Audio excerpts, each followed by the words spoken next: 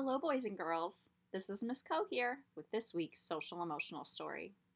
This week, you guys have been learning all about managing disappointment. You feel disappointed when things don't go your way or if you don't get what you want. We all feel disappointed sometimes. There's hope though.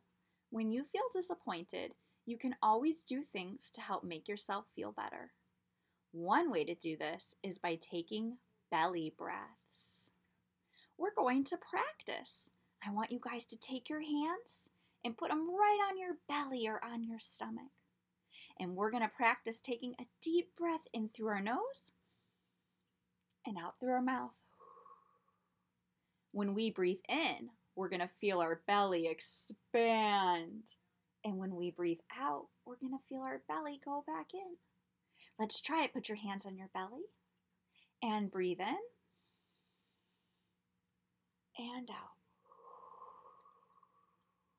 Try it one more time. Take a deep breath in and blow out. Nice job, boys and girls. Before we get started with today's story, let's repeat our listening rules eyes watching, ears listening, voice quiet, body calm. Today's story is titled Smile, and the author is Leigh Hodgkinson.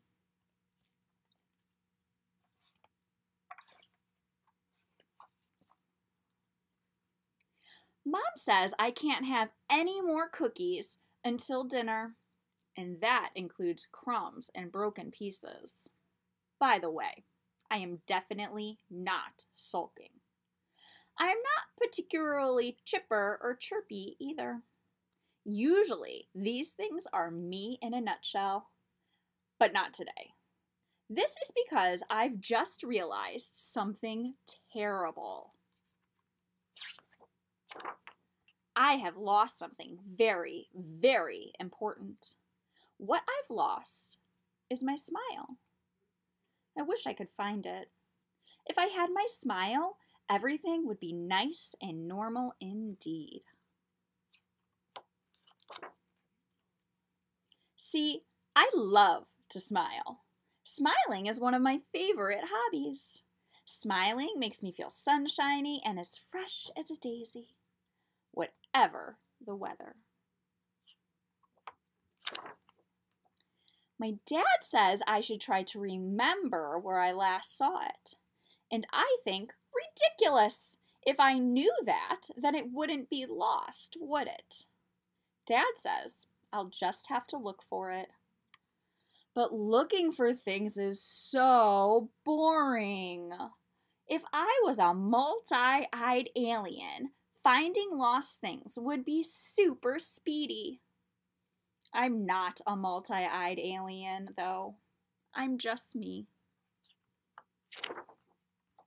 Maybe my smile has fallen under my bed, so I look for it, but it isn't there, even though everything else seems to be. Perhaps I dropped it on the floor? if there is a floor under all of this stuff. I don't think I have ever seen it. It could be in an ocean made of wibbly wobbly jello for all I know. I suppose I had better clean up. This is highly unusual, but I'm desperate. No smile to report here. Only one unhiggity piggity bedroom and no jello. But what if I didn't lose my smile? What if somebody took it? Well, I don't think it was Glitter Gills. Cheer up, Glitter Gills. Maybe a sprinkle of fishy flakes will do the trick. Aha! Maybe the twins took it. They ask me what I'm up to, so I tell them, and they just giggle. However, I don't think they're to blame this time as their smiles are much bigger than mine and much more annoying. My smile is exactly the right shape and size just for me. It simply wouldn't suit anybody else. So if it isn't in my bedroom and it hasn't been stolen, it must be lost in the big wide world. But it will take ages to look there. Maybe I'll quickly check the rest of the house first. Mom says that most lost things in this house can be found in the following places. Number one, the sofa. Number two, pockets.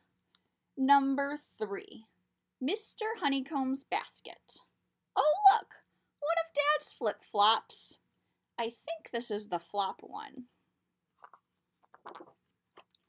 Well, seeing as I'm here, I'll just have a quick game with Mr. Honeycomb.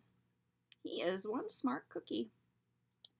Five games later, Mom finds me and says that my spick and span room is a complete miracle. She also says that I'm a sweet pea for feeding glitter gills and playing with Mr. Honeycomb. I think Mr. Honeycomb agrees. You found it, says the twins. And I say, Found what? We knew it would turn up, said the twins. And I say, Knew what would turn up? And they say, Your smile. Oh, I had forgotten all about that. I was far too busy playing and having fun. Um, let me see. And smiling.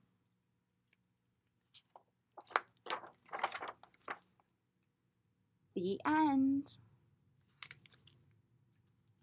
Give me a thumbs up if you liked today's story. In our story, this girl was so disappointed, but she found other things like cleaning her bedroom and feeding the fish and playing with her dog to be able to have fun. She managed her disappointments by finding something else to do. When you feel disappointed, you can also find something else to do. You can also practice taking your belly breaths. This week, I want you to practice naming your feeling when you feel disappointed. When you don't get something you want or something doesn't go your way, you can say, I feel disappointed. And then you can take some of your belly breaths to help you feel better. See you next time.